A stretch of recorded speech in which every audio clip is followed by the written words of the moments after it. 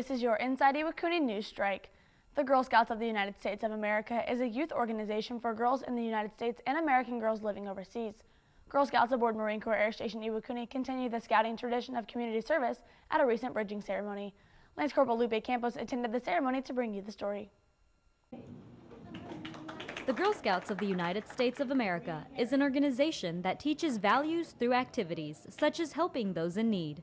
Naomi Ferral, a troop leader, explains the most recent activity the girls in her troop have done for the community. Most of the mothers to be that goes to the Iwakuni hospitals is very difficult. They don't have some of the conveniences that we usually get in the American hospitals. So we create a little kit for them. Captain Sean Neiman, who accepted the 200 care kits on behalf of Branch Medical Clinic, says he's grateful for the kits and knows new mothers will appreciate what the Girl Scouts made for them. Well, it's fantastic that the Girl Scouts spent that much time and energy to make the new mom care kits. Um, I'd like to say to the girls, thank you so much on behalf of the clinic and on behalf of the new moms and the moms to be. The Girl Scouts bought necessities for the care kits using money they raised selling their trademark Girl Scout cookies. I'm so proud of from everyone because all these girls are going to become big leaders. They are going to learn how to always have this character of giving, and that's what we want. We want better girls in our society.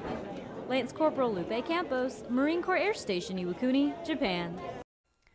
The Girl Scouts will be having a couple of end of the year parties this next month to celebrate all the hard work the Girl Scouts have done this past year.